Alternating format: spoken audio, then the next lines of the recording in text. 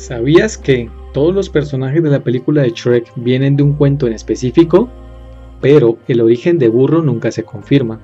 lo que ha llevado a pensar que basándose en su actitud se trata de un niño convertido en burro en el cuento de Pinocho. Para quienes no recuerdan, en Pinocho existe un lugar llamado la Isla de los Juegos, un lugar peligroso e ilegal donde el cochero lleva a los niños malcriados para que puedan ser libres de destruir, tomar alcohol y hasta fumar esto para finalmente ser convertidos en burros.